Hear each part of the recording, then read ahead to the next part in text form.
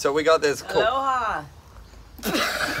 so we got this Kauai sugarloaf pineapple at the farmer's market, and I've been seeing this way on TikTok where you can cut it, and each of these pulls out to be its own separate fruit. Oh, not with the knife in your hand. Oh, wait. Okay. Oh, that was a choice. Don't Waterfall it, around. waterfall it. You don't know how to waterfall. You give those vibes. You can also eat the core in this one, but I think you could every other pineapple. I did. Vince, I know for a fact you did not pass knife safety. Taste One, test. Oh, two, cheers. cheers. Cheers.